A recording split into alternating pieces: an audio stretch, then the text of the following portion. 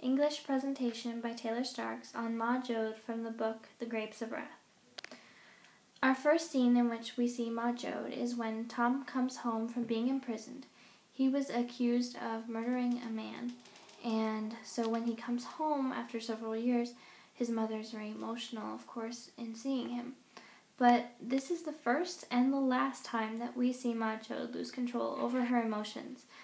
And the only thing she said that was significant about losing her emotions was, Don't touch me. I have to regain my calm. And once she composed herself, she was back to being the pillar. We see this trend in Ma Joad a lot during the book. She is the base of the family, the pillar. Every foundation of the family is built around her strength. Even though she was a woman, which was kind of a lower role for women in that day, she was very much the patriarch of the family, and she led the family and kept the family together through the thick and the thin.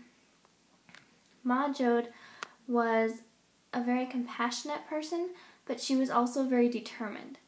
When the family packs up and decides to move to California, she supports the move all the way. She makes a lot of the crucial decisions that the father, losing hope, is unable to do. When her grandmother dies, she doesn't lose her calm. She doesn't lose her composure. She, even though it must have been a really difficult time for her emotionally, she stayed stable and kept the family calm.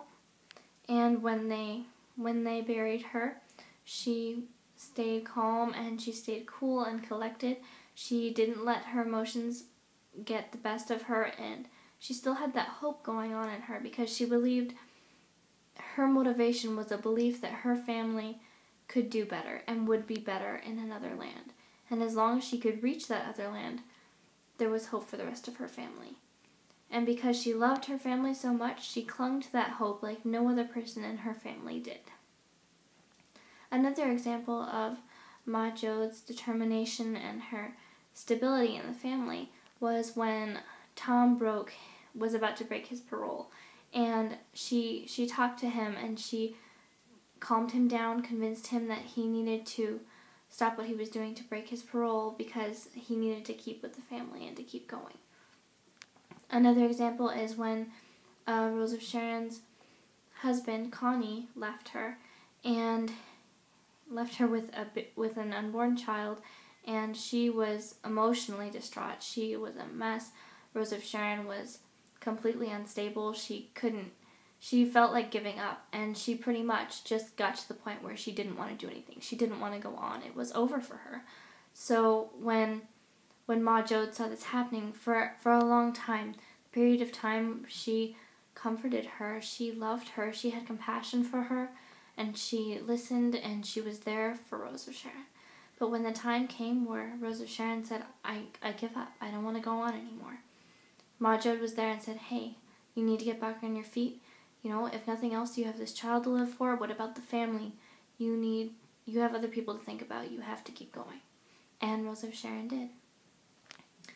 And at, at the end of the story, when Ma, Joad, and they finally all get to California, I believe that the biggest reason that family stayed together was because of Ma Joad.